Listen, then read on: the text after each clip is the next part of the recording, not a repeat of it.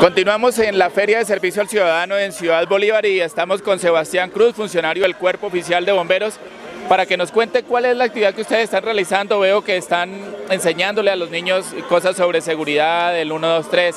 Cuéntenos, Sebastián, qué es lo que están haciendo.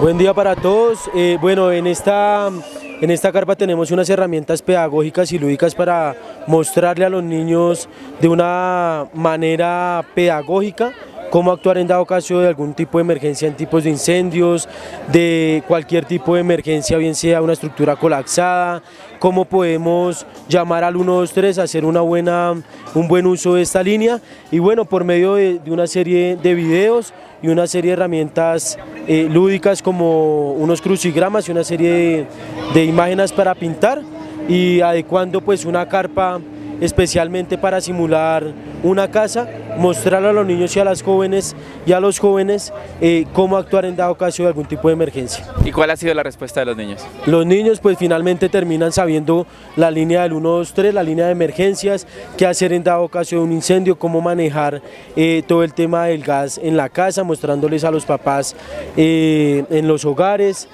que no se pueden enchufar más de, más de tres enchufes en una toma y algunos tipos de recomendaciones pues que hacemos acá muy buena receptividad por parte de los niños, los cuales pues son los que nos van a seguir multiplicando la información en los hogares. ¿Están llevando este, este ejercicio por toda la ciudad o empezaron aquí en Ciudad Bolívar? Este ejercicio se realiza cada seis meses, se realiza en cada una de las estaciones de, de Bogotá, se realiza cada seis meses, es decir, una a mitad de año y otra a final de año.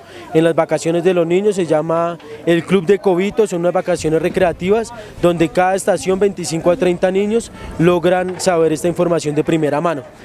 Eh, también lo hemos llevado a los encuentros locales de, la prevención del riesgo, ya lo hemos hecho casi en ocho localidades en las cuales los papás se capacitan y los niños por medio del Club de Cobito logramos también capacitarlos en temas de prevención del riesgo. ¿Hasta qué horas van a estar aquí en esta jornada con los niños? El día de hoy vamos a estar hasta las 4 de la tarde, 4 o 5 de la tarde, esperando a todos los niños, las niñas y los jóvenes de la localidad de Ciudad Bolívar para poderles dar a conocer eh, otra manera de prevenir los riesgos. Sebastián, muchas gracias. A ustedes.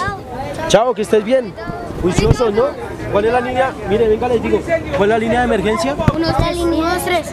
El 123. ¿Y qué hacer en dado caso de una emergencia? ¿Cómo tenemos que salir? Tenemos que salir gateando. ¿Y hacia dónde tenemos que salir? Hacia la puerta. Ah, bueno, muy bien. Ese es el tipo de receptividad que hoy logramos tener con los niños y las niñas y una multiplicación pues de la información que hoy estamos generando como Cuerpo Oficial de Bomberos de Bogotá.